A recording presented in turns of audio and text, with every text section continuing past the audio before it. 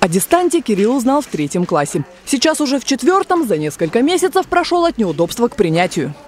Как по мне, лучше дистанционка, потому что тут ты сокращаешь время, там более э, немного понятное, чем э, э, в школе, когда учитель рассказывает.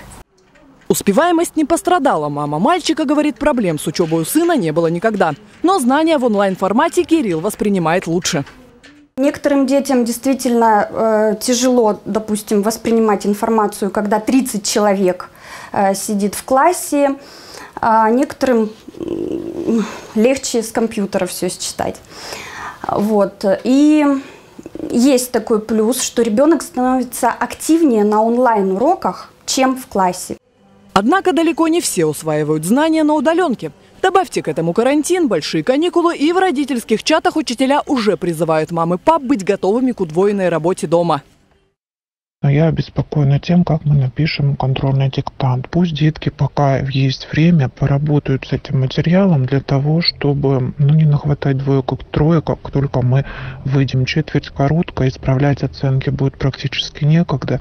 Да и, в принципе, она и так короткая, но и мы ее еще укоротили. В открытую говорить о больших пробелах детей педагоги боятся, но признают. Вынуждены сокращать и объединять неизученные темы, чтобы хоть как-то наверстать упущенные знания. Вот это слияние этих учебных тем тоже позволяет, вот, э, собственно говоря, выйти из этой ситуации. Есть еще одна возможность. Какая-то часть учебного материала может даваться, особенно вот учащимся старших классов, на самостоятельное изучение. Если ситуация вновь усугубится, такой вариант вполне возможен. Дистанционный режим могут продолжить. Но как это вместе с затяжными каникулами скажется на знаниях детей, учителя определят на контрольных в конце года. Мария Микшута, Дмитрий Денисов. День с толком.